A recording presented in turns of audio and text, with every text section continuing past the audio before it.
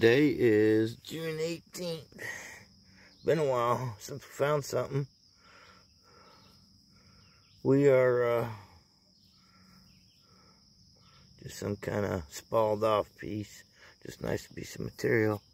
We're starting three summers, two and a half years basically of a terrible drought. Or I know the tip's gone. See, it's gone, but oh, hoping the rest of it's there. Let's just uncover it right away. Oh. Well. Huh.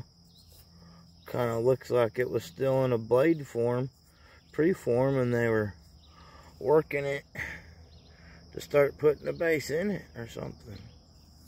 Well, beggars can't be choosy. I'll take that.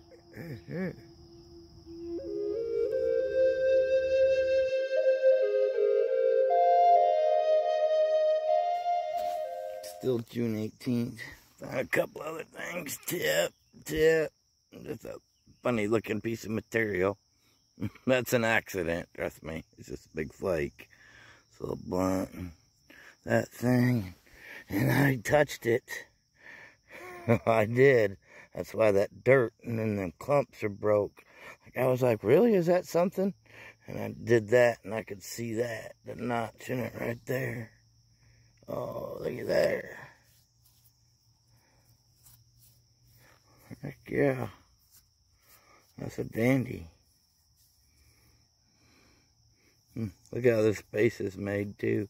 You know, a lot of people would like probably call this a fairy or maybe even a Williams. And it's just a, a variation of the Etley. This is probably like closer to the end of their basic, like late archaic, starting to transition into woodland.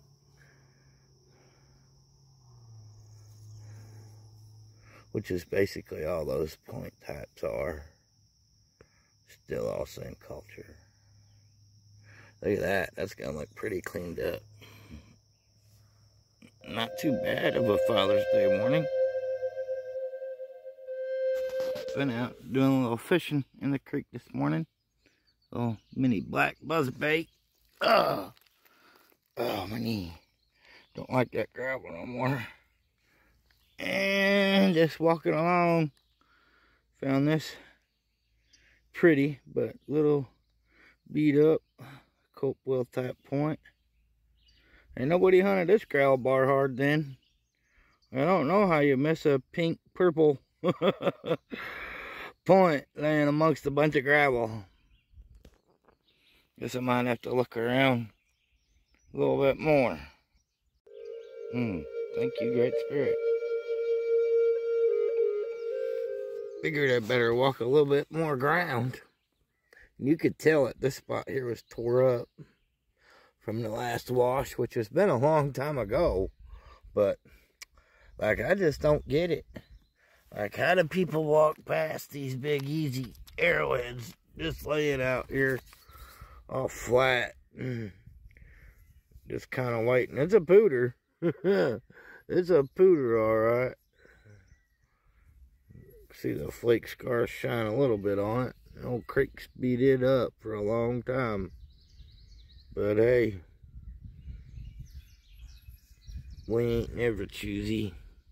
A find is a find. It was worth my time.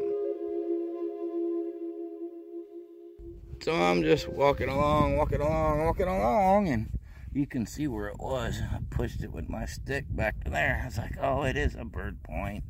Look at the serrations on that. Right close to the water to too, little puddle here so I can wash it off. We have finally, finally had a little rain here in Missouri. Look at that. That is a killer little Sequoyah. Hmm, awesome. Thank you, Great Spirit. We finally had a little bit of rain a handful of brokes I found. Check out the serrations on that. You know that ain't no Etley. We had two and a half inches at my house. I think Richard said he had it. Sent a picture where he had an inch at his house. I just found this laying down here in this ditch. Seems like it's all there. Kind of pootered up. But hey, we will take it. That's my old buddy Hook would say, awesome possum. Thank you, Great Spirit. You can see how much of this was showing. Just that right there. Didn't even see that broke edge. Just poking at material sometimes. Look, look how it laid in there and it popped a little piece of dirt off right there. Wasn't really a lot of it showing. That was the underside. Little banded blunt. Sorry, don't know what's wrong with the shallow depth of field. Oh, look at that, bands. Awesome. I just popped this quartzite out. You can see where my stick hit it. and right there's all I could see. And sometimes that quartzite's easy to, or tough to see flaking on it. Just a little bit of tip missing. Hey, turning out to be an awesome morning. All that growth in this cow bar tell you how much of a drought we've been in. Been getting a little bit of rain. Creek didn't wash much. This is actually the second time I'm out in it. It's July 25th. And I'm back here hunting some low water gravel spots in the water. And there are foot tracks all over the place. But I, I just don't understand how people miss that. Stuff like that. I mean, right, whole different view from way up there. It's missing the tip. And a lot of times I don't show broken tips. And uh, this is actually a piece of rhyolite. Maroonish, reddish rhyolite. Which doesn't come from our area. We have two areas. Uh, the St. Francois Mountains. And there's a little area that's kind of like south of St. Louis. So this material traveled a long ways. And they didn't like walk from here to there that far by travel. They always had boats. There's a old Navajo elder who talks about how they followed the edge of the Bering Strait Fort and came over here by boats. They weren't going to make women and children and their elderly walk that far. But mainstream archaeology has always dismissed those kind of things that elders talk about. Today is August 1st. You can see how wet the ground is. Even got my rubber boots on, with shorts of course. We have finally been starting to get some rain back in Missouri. Out walking around with the old poking stick. Four inches of rain last night. And I just flipped this out. Look at that. that was the dirt that was laying on top of it. But that, nice little point. Still cloudy out. Just kind of got here as it got done raining.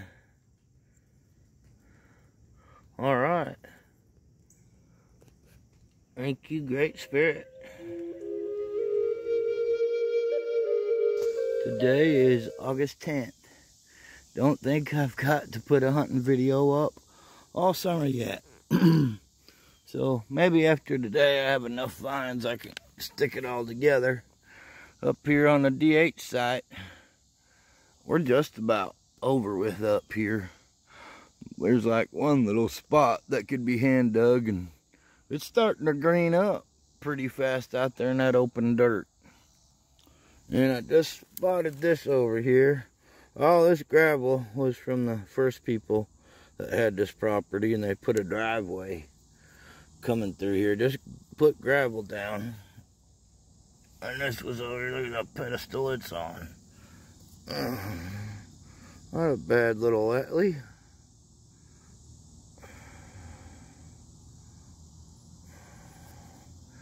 I'll take it. Thank you, Great Spirit.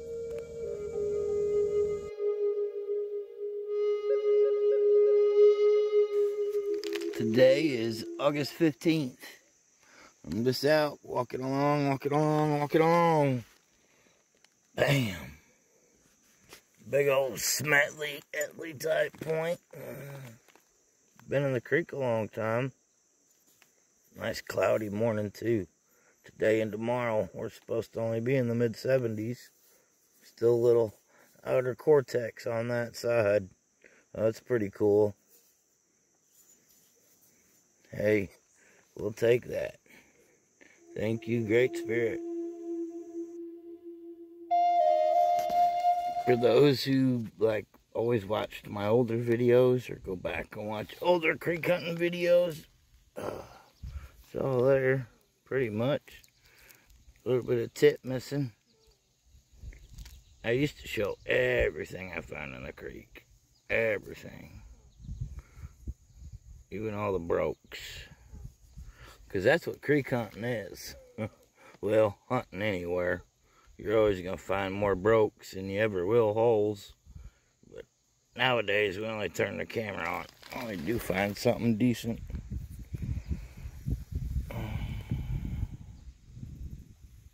Well, today is August 17th. Just getting out about the middle of the day. I think it's like almost 1 o'clock. I just got here. And boy, it is always so hard to ever miss anything pink or purple. Let's hope the tip's there. Oh, look at that. It is. Oh, that's pretty. Oh. Looks like a little Robinson point. Hopefully it's coming in clear. Uh, I can't tell.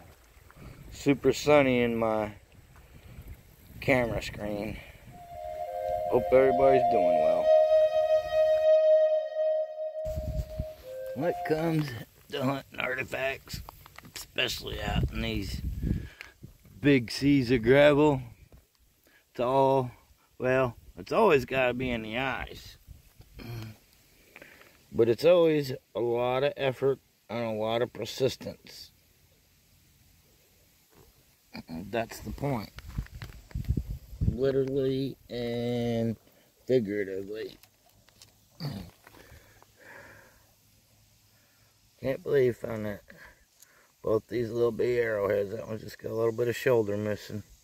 Like a little Hopewell type point. That's a Robinson. Late archaic dart point. It's starting to get a little breeze and cloudy out here this afternoon. Which is good because I'm going to be here a while.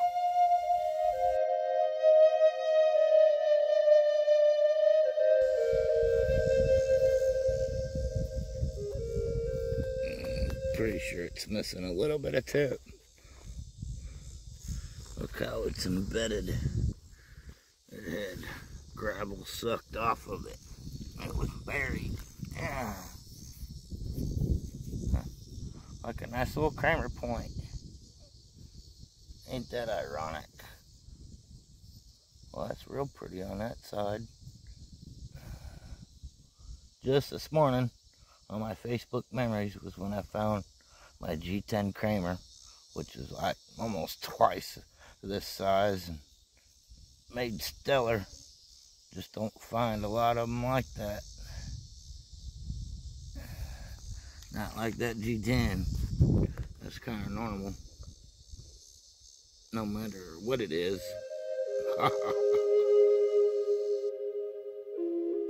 Today is September 4th. It's been a long, slow summer. Look at that. You can tell there's a base there. Let's see what we got. Hey, how about that? That's a whole point. It's like a little, like Snyder's variant type. Just sharpened up a bunch. All right. Thank you, Great Spirits. Today is October 13th. I think after these, maybe I'll finally put a video together. This will be the end of it, of course, though. Found these brokes. This tip. This here. That's a crying shame. I'm going around and just poking flake. You can see how that was in the clay. And I can push it back. Kind of like that's how I saw it. And I hit it with my stick and it did this. And I was like, oh man, that's a point. Got a little bit of side busted out of it, but hey, still a point. Step down here by the water. Wash it off.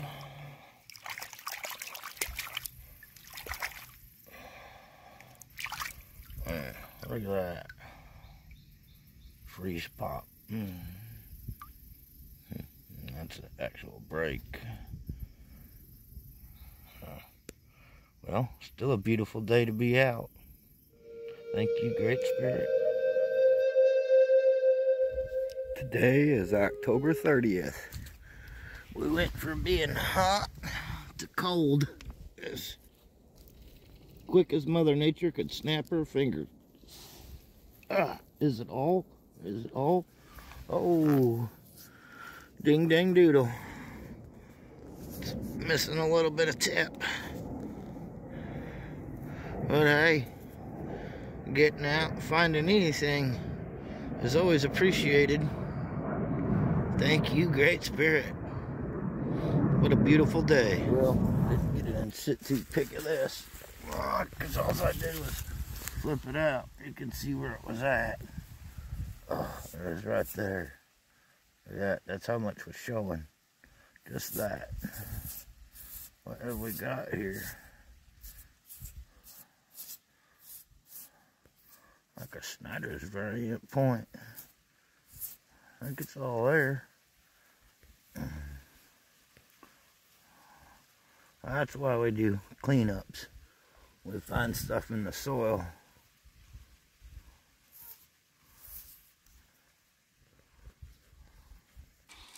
Well, it's been since the middle of May since I put a video up.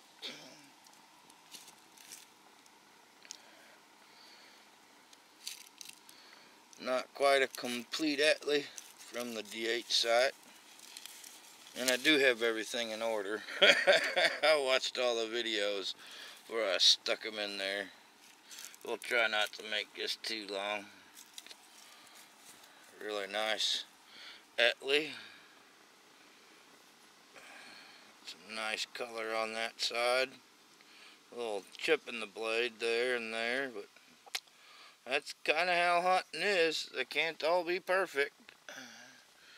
Here's a first little one from the creek. And people had walked all over the place. All over the place. Here's a Dickson with that Tannic Creek staining. You can tell it was in the creek for quite a while. Uh, then that killer little bird point I found with my old buddy D one day out and about. Uh, and we had this rough pooter here from the DH site. Been sharpened up quite a bit, which it's pretty rare to see a beveled edge on an Etley. Little banded blunt. Really nice bands on that side. And I found these two brokes that day. I had this in my hand when I went to film this next one. And that'd have been a killer Sedalia. And this Sedalia drill would have been really stellar. Look at that color going on in there. Don't get no more awesome than that. And when I pulled this Etley out, I called it quartzite, but it's actually oolitic. But mm, that sun, what little bit I have, is making it sparkle. A lot of quartzite oolitic will do that, but the best way to tell the two apart is through magnification because oolitic has little tiny spheres with a little tiny sphere inside of it. So, like some of the old timers call them fish eyes. And usually don't show many brokes, but even before I picked this up that day, I knew it was a piece of rhyolite, which is really cool because the closest rhyolite to me is like down in Shannon and St. Francois counties in Missouri. So like just by driving, that's like a two and a half hour drive trip. So whomever brought this up here traveled a long ways, and they all traveled by waterway, of course. They always had boats. Aborigines went to Australia by boat, so you know when these people came over here, they already knew about boats themselves. Nice little Etley. Then this one I found that day on some part that used to be part of the old driveway on the DH, but nobody ever built a house there. And then I had this big old Smetley Etley point in the creek.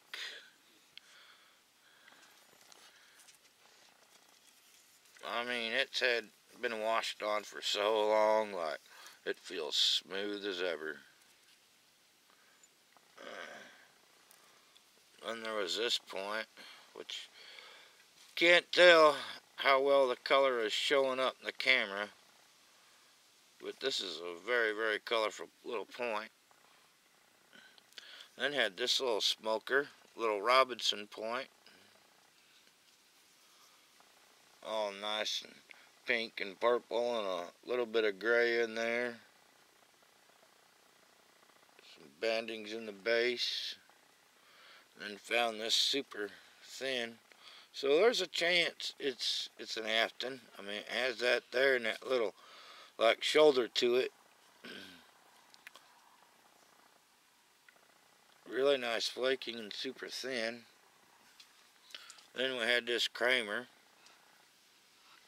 where it had all the gravel had been washed off of the top of it. Then that day I found this little Snyder's type variant sticking out of that bank. Had been somebody there. They had walked all over the place, walked past that, and they also walked past this. Now, hopefully I can get some sunlight here get this to focus in good. This has really good edge working all the way, all the way around it and then it's all uniface on that side.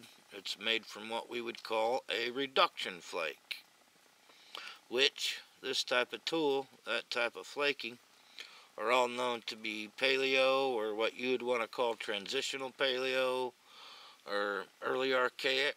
So anything from paleo to Daltonish era.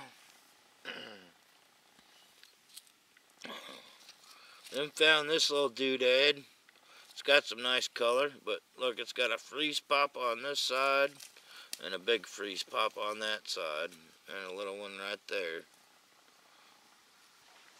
But you know, when tunting is off, man, beggars can't be choosy. this is the one I found, that base just sticking up. Then I was so lucky to see this Snyder's point. I mean, you saw in the video, it just barely had a little bit of it uncovered. Poked at it with my stick and it flew up. And I see a lot of people, you see that right there, they'd want to call that an impact break. But we know Snyder points are knives. They were never a projectile. And I have a lot of brokes. I'm going to try and do a bunch of videos here. One day soon I'll get in the mode where it's a bunch of teaching videos with physical evidence. Where a lot of material, when you're using a knife, of course, they're using mostly this part of the knife, the very upper part of the tip. Going in bones, around other things they're cutting on, like it's going to cause that tip to snap off sometimes and pull that stuff back. So those aren't all impact breaks. You know, that's the thing about learning about primitive technology. It teaches you so much. But, you know, with a lifetime of wilderness survival study, human psychology, like that brings a lot more into the game just besides studying what everybody who's ever been in mainstream archaeology can teach. But I won't bore you all for too long. Hopefully it don't take another six months to get another video up. This coming Saturday is opening day of our rifle season for deer. So I'm hoping to tag a couple, at least one, but two or three would be a lot better. And uh, hope everybody's doing well. Seems like the algorithm kicked me down on my last video, but that's okay. You know, I never have done videos for a bunch of fans or whatever people want to call themselves. I just have people that I make friends with and people who watch my videos. I'm not much of a label person, nor a favoritism person. That's why I like them all. Big, little, broke, and super small. Later.